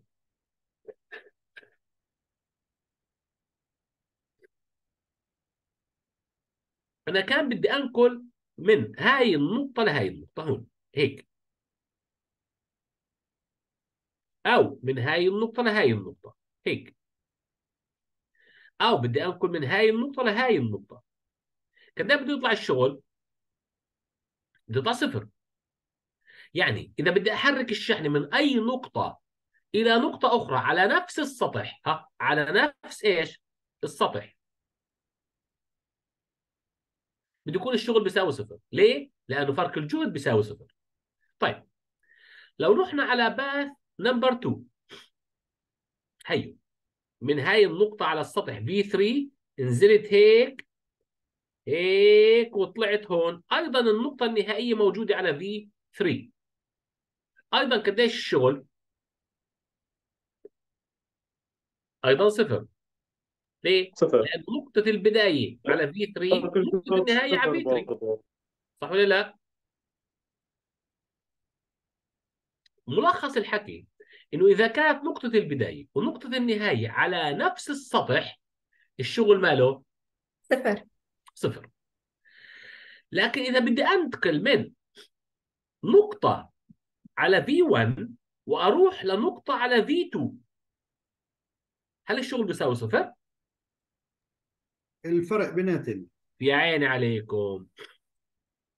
فبكون اذا بدي انقل على السطح أو على المسار رقم ثلاث. أنا بدي أروح من ال V1 لل V2 لأن هالنقطة واحد البداية هي ال initial على V1 النهاية هيها هون ال final على V2 وبالتالي بصير عندي minus Q في delta V اللي هي minus Q في. V النهائي اللي هو V2 ناقص V ال initial اللي هو إيش؟ V1 وحيطلع في minus Q مضروبة في 80 ناقص 100 وبيطلع اللي هو 20 مضروبة في القيمة Q هاي طبعا Q could be any number ممكن تكون 5 مايكرو ممكن تكون سالب 3 micro.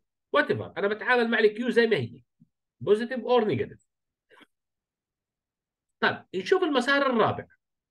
المسار الرابع راح من ال ال ال V1 هيها النقطة في المسار الرابع هي ال initial على V1 والنهاية على V2 نفس الجواب بده يطلع عندي 20 Q هلا الثالث والرابع شو بقول لي؟ ها للثالث والرابع الاثنين طلعين مالهم 20 Q 20 Q إذا كانت الشحنه positive بده يطلع الشغل ماله؟ positive وإذا كانت الشحنة negative بده يطلع الشغل ماله؟ أيضا نيجاتيف عشان هيك قلنا إنه الشغل والجهد والطاقة depend depends on Q. Either positive or negative. يعني على نوعها وعلى مقدار. طب لو بدنا نروح دكتور يعني بنعوض مع مع قيمة الشحنة إيش؟ إشارتها؟ إشارتها. نعم صحيح. بنعوض الشحنة بإشارتها. اللي هم في الشغل؟ في الشغل الشغل والجهد والطاقة. أنا كتبت لكم إياهم في على ال آه، على ال whiteboard. كتبت لكم إنه لل force ولل electric field لا بنعوضش الشحنه بإشارتها. لأنه الإشارة تظهر على شكل اتجاه. لكن في ال potential وال آه، وال energy U وفي ال work W بنعوض الشحنة بإشارتها طيب حدا ممكن ينقل لي أو يحسب لي إذا بدي أروح من V4 هون هاي ال initial وبدي أنقل الشحنة ل V2 هون هاي ال final. كده بيكون إيش؟ مقدار الشغل. 40 يعني. 4 ناقص 60 ناقص 80 آه بده يكون ال work بيساوي إيش؟ minus q في V2 ناقص V4 صح ولا لا؟ اللي هو ال V final ناقص ال V initial ناقص 20 يعني مظبوط، 80 صحيح. ناقص 60 ناقص 40 اللي هي يعني minus q في ال V final اللي هو V2 قيمته مالها 80 80 ناقص ال V initial اللي هو V4 40 وبده يطلع الجواب إيش؟ minus q في إيش؟ في 40 يا الله وبده يطلع عندي اللي هي minus 40 q هلا إذا كانت q positive في هاي الحالة بيطلع الشغل negative وإذا كانت q negative بيطلع الشغل إيش؟ positive صح ولا لا؟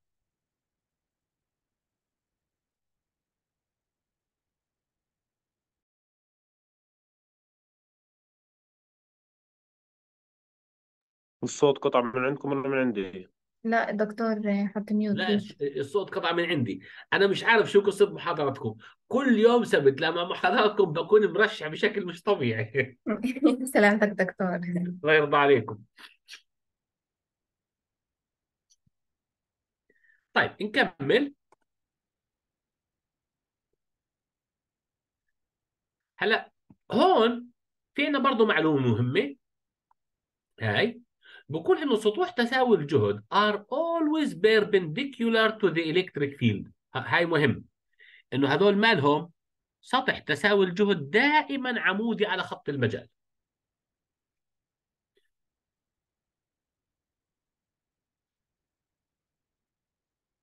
طيب هون كمان حكي لنا انه we can have a series of surfaces perpendicular to E and each surface has same potential as shown زي هيك يعني. لاحظوا هون أنا خطوط المجال اللي عندي هي هذا اللي هو E. هاي الخطوط اللي باللون اللي أزرق أو قريب على الأزرق. إذا خطوط المجال هيها تتجه نحو اليمين. دكتور الصوت مقطع. بعرفش الجميع؟ صوت عندي واضح؟ عندكم الصوت واضح؟ آه منيح. الصوت واضح واضح. آه يمكن النت عند محمد آه. مش منيح. ممكن ممكن. ما هو النت هالايام على الفاضي يعني حتى الواحد مع الفايبر وعلى الفاضي. هاي الخطوط المتقطعة اللي باللون البرتقالي الفاتح هاي اللي هي سطوح تساوي إيش؟ الجهد. لاحظوا هذا السطح عمودي على خط المجال. هذا السطح عمودي على خط المجال ها؟ عمودي على خط إيش؟ المجال.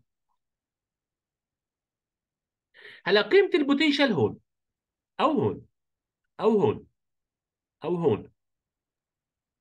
لنفس السطح قيمة. ال potential constant مظبوط؟ مظبوط. ولاحظوا إنه السطح عمودي على خط المجال. طيب كان لو أخذنا point charge لو أخذنا إيش؟ point charge هاي هاي ال- ال- المسافة من هون لهون في هاي الحالة اللي هي اسمها r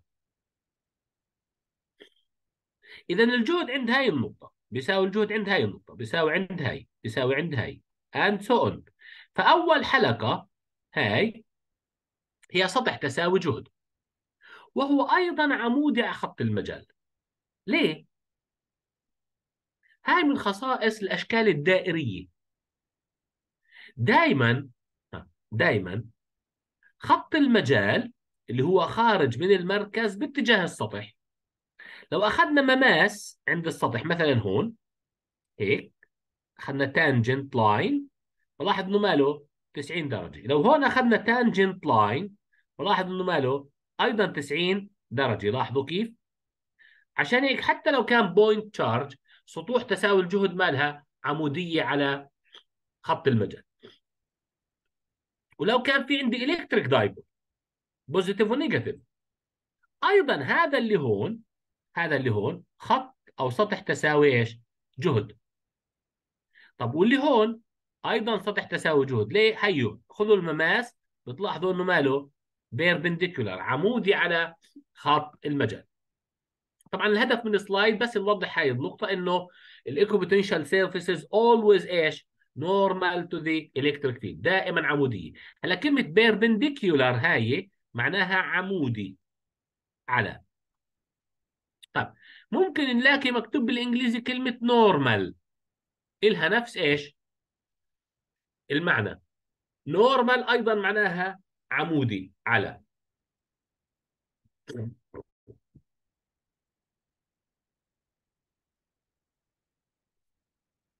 هون معطينا فرق الجهد in uniform electric field اللي هو example واحد. جاب عندنا two plates A و B.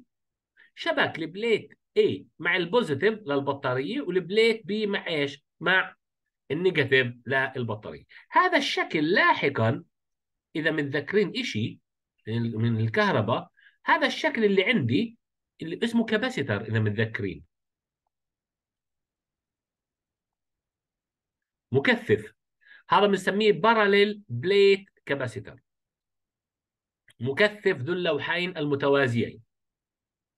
هلا إيش اللي بصير؟ حيصير عندي هون positive charges مثلا وهون حيصير عندي إيش؟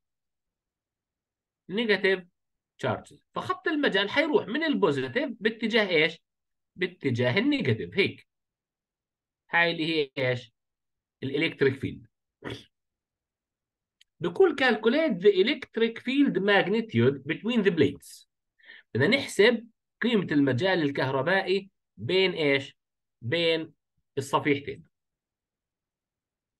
أول شيء حكى لنا إنه بما أنهم صفيحتين متوازيتين اذا المجال اللي بينهم ماله يونيفورم هاي مهم المعلومة.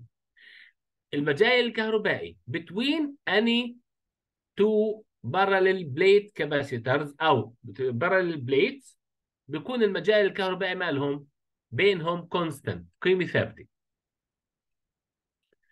حتى نحسب إحنا قلنا إنه delta V اتفقنا شو هي minus E في إيش؟ في d. طيب. ال delta V فرق الجهد. قديش هذول فرق الجهد بين هذول الصفيحتين؟ هيو. أنا شابكهم على بطارية 12 فولت بطارية السيارة مثلا. وبالتالي قيمة فرق الجهد مالها 12 على المسافة بين اللوحين هو معطيني ال two plates are separated by 3 في العشرة سنتي متر. قديش اللي بينهم؟ 3 في العشرة سنتي متر. فبنقول هاي ال d 3 في العشرة في 10 قوة سالب 2 وبيطلع عندي ال electric field 4 في 10 قوة 3 volt per meter. يعني هذا كمثال تطبيق بسيط على القانون في حالة ال uniform electric field. طيب نشوف هاي الفكرة. بحكي لي هون دكتور بس الثلاث بالعشرة من وين في المثال؟ هو given given هيها. هي بقول لي two conducting parallel plates separated by 3 في العشرة سنتيمتر يعني هاي ال d اللي هون هاي تساوي 3 في العشرة سنتي إيش؟ متر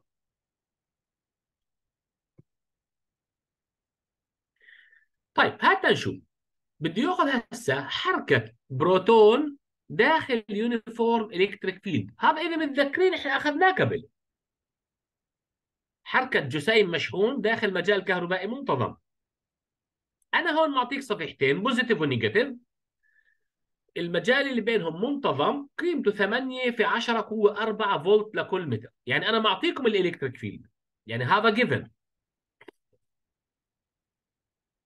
بقول هون proton released from rest يعني هاي شو معناها؟ from rest متذكرين كلنا. V initial صفر. equal إيش؟ أيوه بالضبط. ال initial velocity equal zero it undergoes a displacement of نص متر. يعني معطيني الإزاحة d بتساوي نص متر. In the direction of electric field. بنفس اتجاه المجال الكهربائي. وهي لو ما حكى لنا إياها إحنا لازم نعرفها. ليه؟ لأنه إحنا بنحكي إنه الشحن الموجب تتحرك بنفس اتجاه المجال. صح ولا لا؟ مظبوط. أول شيء بدنا نحسب delta V بعدين نحسب إيش؟ delta U between the points A and B. يعني في في الجزء في المطلوب الأول بدي أحسب فرق الجهد والتغير في الطاقة. لما ننتقل from A هاي اللي هي ال initial ونروح لمين؟ لل B اللي هي إيش؟ ال final. المطلوب الثاني بده the speed of the proton at point B. سرعة الجسيم لما يوصل لوين؟ لعند النقطة هاي. وهذا إذا متذكرين يعني أتوقع كان إشي زيه في الأسئلة. آه مضبوط على الأسئلة قوانين المهمة، صح؟ طيب. هلا نشوف إيش بصير. ال- الأول delta V شو قانونها؟ minus E d. يعني minus 8 في دكتور 10 هو قوة 4 بده نوجد بده نحسب فرق الجهد بين النقطتين A و B.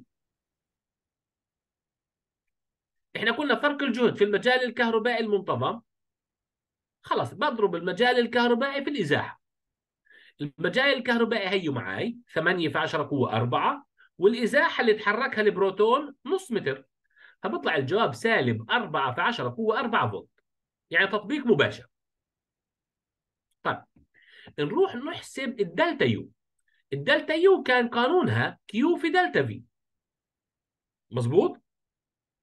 ها ال q في delta V هلا نيجي نشوف ال q هاي عوض محلها إيش؟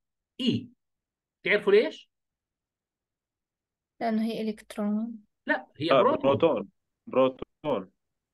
حاكي لنا بروتون. بس ما هو البروتون فيش على الشحنة اللي له موجبة يا عيني عليكم البروتون شحنته نفس شحنة الإلكترون اللي هي 1.6 في 10 قوة سالب إيش؟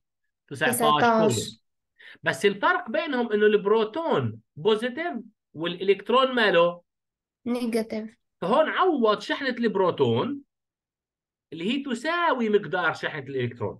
ها تساوي مقدار شحنة الإلكترون اللي قديش 1 و6 في 10 قوة ناقص 19 فرق الجهد حسبناه سالب 4 في 10 قوة 4 وبيطلع الجواب سالب 4 6.4 في 10 قوة سالب 15 جول. لأنه 1 و6 ضرب 4 6.4 وهون في عندي ناقص 19 وهون في عندي plus 4 فبضل عندي هون إيش؟ minus 15 يعني لحد هسه المسألة تطبيق مباشر. طيب. نروح نشوف ال speed of the proton at point B يعني دكتور أنت بطلت تستعمل معادلات الحركة اللي كانت في ال assignment الأول. صرت تستعمل بس قوانين النتيجة النتيجة نفسها. نعم يا نعمي صحيح. هلا هناك حطبقنا معادلات الحركة. هون ممكن نطبق اللي هي تحولات الطاقة. هلا إحنا. متفقين إنه الطاقة لأنه conservative system الطاقة محفوظة صح؟ مظبوط. يعني ال change in U لازم يساوي ال change in K دكتور ال speed وين بده إياها؟ عند B عند B آه. هلا إحنا قديش حسبنا ال change in U قديش طلعت معنا من اللي قبله؟ هي قديش سالب ناقص. 6.4 في 10 قوة ناقص إيش؟ 15 هلا هذا السالب شو معناته؟ قيمة الشحنة لا هذا معناته نقصان. عكس اتجاه المجال.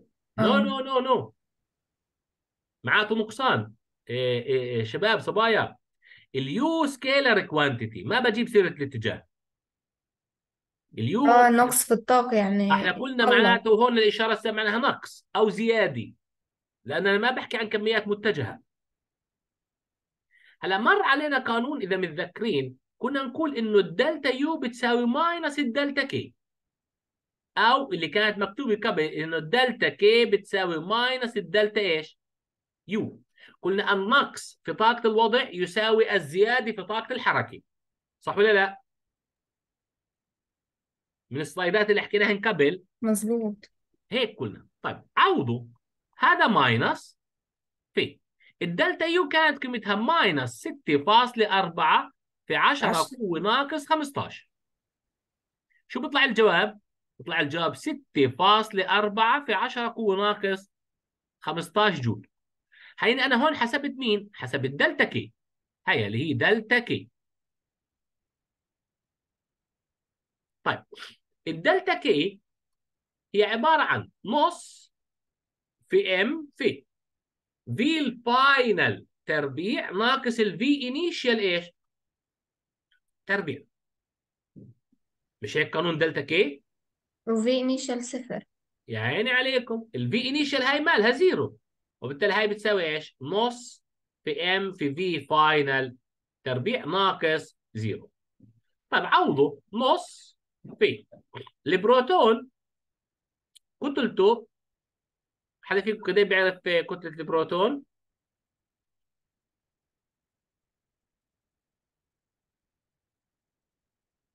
ما فيش حدا بتذكرها؟ 1.67 ضرب 10 آه 1.67 تقريبا. ضرب 10 القوة 27 100% بالسالب طبعا. آه. أوكي فضربت إيش؟ ضربت اللي هي 1.67% في إيش؟ في 10 قوة سالب 20 27 في اللي بدي إياها ال V final اسمها ال V عند B تربيع صح ولا لا؟ لأنها ال final هيها هون ال final. عند النقطة B. هاي معروفة اللي هي 6.4 في 10 قوة ناقص 15 صح. وبالتالي اضربوا في 2 بيطلع لكم 12.8 في 10 قوة ناقص 15 هاي بتساوي 1.67% في 10 قوة سالب 20 27 V B تربيع. إذا بيطلع عندنا ال V B تربيع بتساوي رقم وبناخذ منه إنه ال V B بتساوي الجذر لهذا الرقم اللي طلع فهو نفس الفكرة هي طبق اللي هي نص m v تربيع بهذا الشكل. دكتور. تفضل. هلا إيه نص ام في تربيع هي هاي من القانون التربيع صح؟ آه القانون فيه تربيع ولا كي قانونها آه نص القانون في تربيع ام آه آه فهمت في عليك. تربيع. فهون خلص خلص سوينا آه، آه بنطلع الجواب وهي طلعت السرعة اللي هي إيش؟ 2 و8 في العشرة في 10 قوة 6 متر لكل ثانية.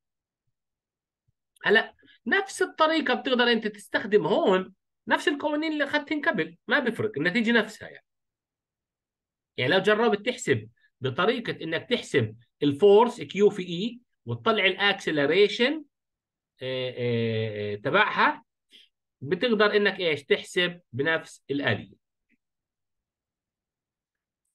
طيب هلا بكون عندي هون افترض إنه في عندنا شحنة نقطية Q إلها electric field radially outward ليه؟ لانها الشحنه اعتبرها مالها موجبة هي هاي مالها موجبة لأنه خط المجال يخرج منها. هيك. مثال جديد دكتور هذا؟ آه آه هون يعني هو الفكرة يعني بس بدنا نكمل بدنا ناخذ شيء مستوى أعلى شوي. فقال إذا في عندي هون شحنة موجبة خطوط المجال حتكون طالعة منها. فأنا في عندي نقطة هون اسمها A وعندي نقطة اسمها إيش؟ B. وبدي أحسب فرق الجهد بين A و B. فرق الجهد بين A و B. معطيني هون الراديوس تبع A اللي هي من الشحنة لعند A معطيني الراديوس تبع B اللي هي المسافة من الشحنه لعند النقطة إيش؟ B.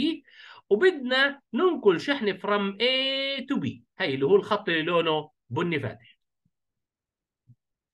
القانون تبعنا إنه V final اللي هي عند B ناقص ال V initial اللي هي عند A بتساوي minus integral E dot ds بهذا الشكل. هلا شو هون بده نحسب دكتور؟ بدنا نحسب فرق الجهد هيها ال potential difference between A and B. okay؟ هلا القانون تبعنا فرق الجهد كان E dot ds ال integration from A to B. راح قال بدي أنا أحسب أول شيء E dot ds لأنه أنا هون هذول لا هم parallel ولا هم normal وبالتالي بدي انبه للعلاقه فقال هي عبارة عن إيش؟ ال K في Q على r تربيع هذا اللي هو ال electric field صح؟ ال electric field لل point charge شو كان قانونه؟ K Q على r على r. تربيع بأي اتجاه؟ باتجاه ال radial ال r hat هذا إيش المقصود فيه ال r hat؟ متذكرين ال unit vectors اللي هم ال i وال j وال k هذول كانوا x y وإيش؟ و z صح؟ هلا هون بما إنه أنا عندي شحنه نقطيه خط المجال يخرج من الشحنه وبالتالي عند هاي النقطة مثلا اتجاه المجال هيك طب عند هاي النقطة اتجاه المجال هيك عند هاي النقطة اتجاه المجال هيك. فهون بنصير نتعامل مع unit vector اسمه R hat يعني إنه خط المجال اتجاهه باتجاه إيش؟ نص القطر. لأنه ال R هي starts from Q باتجاه النقطة. هيك ماشي ال R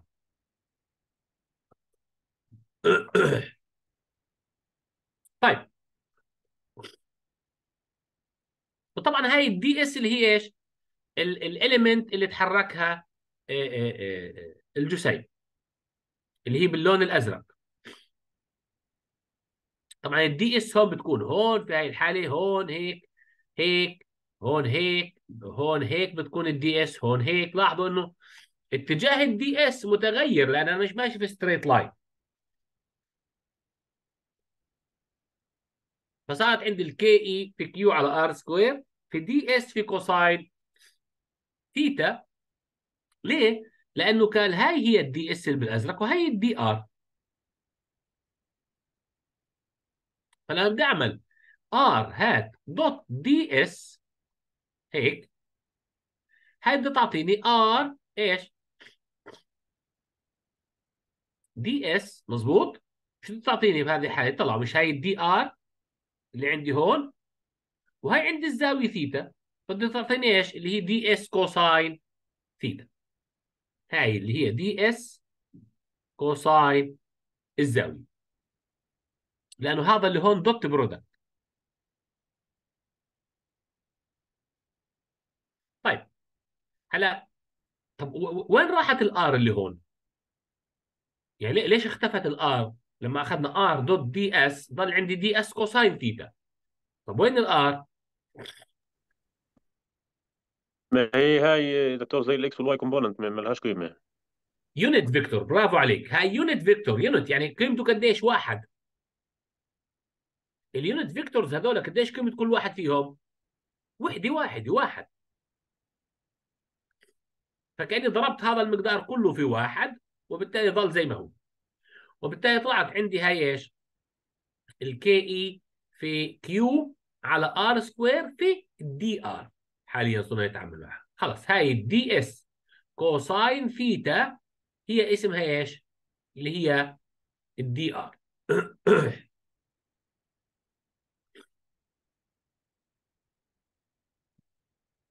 هلا نكمل نشوف.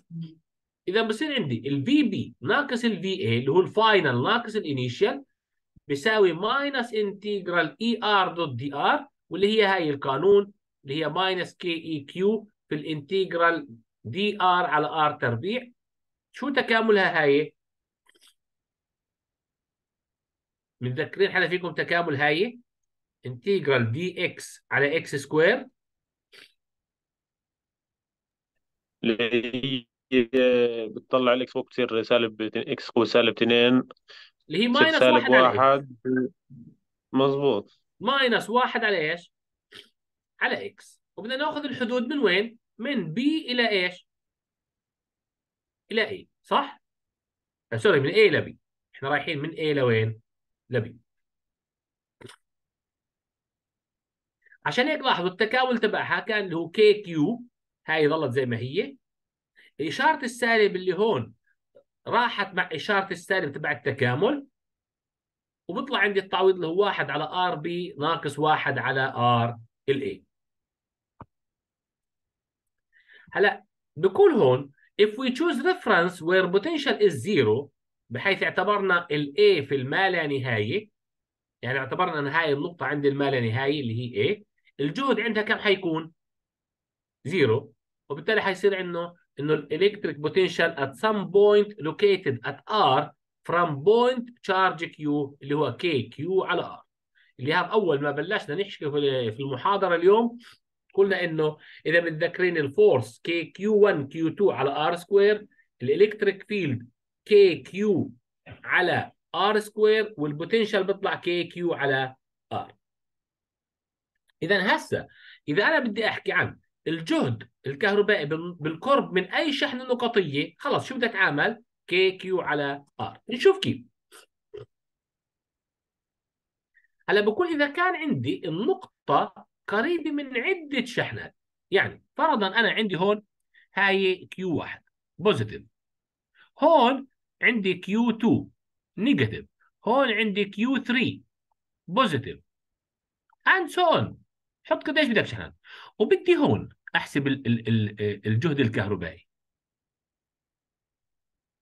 بقول بما إنه الجهد كمية قياسية اذا قيمته النهائية المحصلة تبعته المجموع حيكون جهد الناتج عن الشحنه الأولى زائد الجهد الناتج عن الشحنه الثانية زائد الجهد الناتج عن الشحنه إيش؟ الثانية الثالثة. نجمعهم جمع جبري مع الإشارة 100% بتطلع 100% يعني هون ما بأخذ محصلة لا بأخذ جمع ولا طرح ولا تعامد ولا أي شيء ولا قانون عام. أنا بتعامل مع scalar quantities وبالتالي جمع جبري.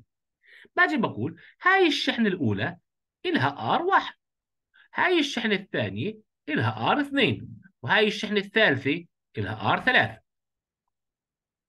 فبطلع عندي V واحد K Q واحد على R واحد. طب V اثنين K Q اثنين على R اثنين. V ثلاث K Q ثلاث على R ثلاث وبجمع جمع جبري نشوف عندنا هون مثال. كأنه لو كان في عندنا أربع شحنات على رؤوس مربع. هلا كيف عرفت إنه مربع؟ لاحظ d d d d البعد وبالتالي؟ متساوي آه الأضلاع كلها متساوية إذا بنحكي عن مربع. ومتعامده طبعا لاحظوا. معطيني Q واحد 12 nano coulomb positive. Q 2 24 nano coulomb negative. Q 3 31 nano coulomb positive Q 4 17 nano coulomb إيش؟ positive وطالب نحسب المجال عند ال center عند النقطة إيش؟ P هلا عشان نحسب عند ال center هذا السؤال حلينا زيه. بدي هاي المسافة. هاي اللي هي R2 هاي اللي هي إيش؟ R1 هاي المسافة اللي هي R3 هاي المسافة المسافة متساوية بين يا كلياتهم عيني بس عليكم. قيمة فهذول كلهم متساويات لأن أنا على رؤوس مربع والنقطة عند السنتر. فكان نكون إذا متذكرين. هاي المسافة كلها اللي هو القطر بيعمل لي مثلث قائم الزاوية صح هون؟ مزبوط وبالتالي بقدر أحسب ال ال ال ال الوتر كاملا. فبصير عندي 2 R إيش؟ تربيع بتساوي d تربيع زائد d تربيع اللي هي فيثاغورس صح؟ إذا 2 R شو بتساوي؟ الجذر التربيع إلى d تربيع زائد d تربيع واللي هي بتساوي جذر 2 إيش؟ d هاي كلها بتساوي 2 R إذا بتطلع R اللي هي مالها d على جذر 2